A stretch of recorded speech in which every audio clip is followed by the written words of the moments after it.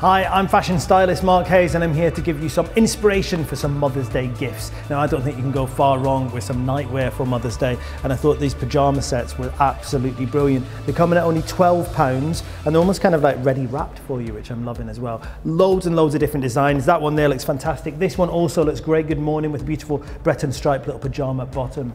These are, I think, are absolutely stunning. Love this. So you've got lace detailing on here. You could almost wear this kind of pyjama set like the top as well well, you know, kind of out and about, which I love.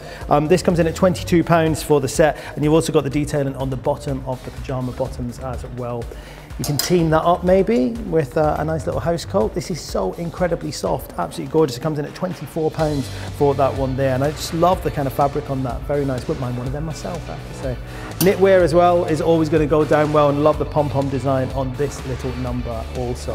Um, accessories always go down well. Know my mum loves them, so she always loves a bag. I think something like that works out brilliantly. 14 pounds for that little number. A nice little pop of metallic as well. Another fact, it's in a pewter color as well, so it's gonna go with any jewelry that she already owns.